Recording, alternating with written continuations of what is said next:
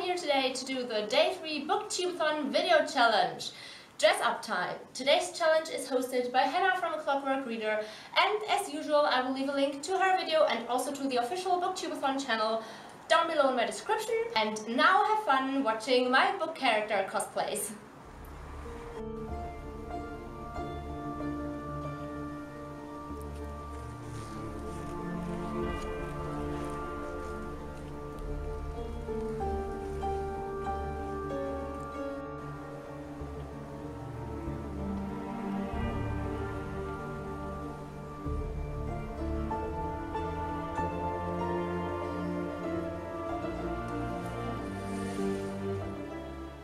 So that was my video challenge for today.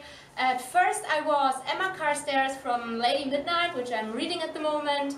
And the second costume was obviously Katniss Everdeen from The Hunger Games. I had super much fun dressing up as these two and I had a thousand other ideas but that would have just been too much so I decided to do only these two. I hope you enjoyed it and see you again!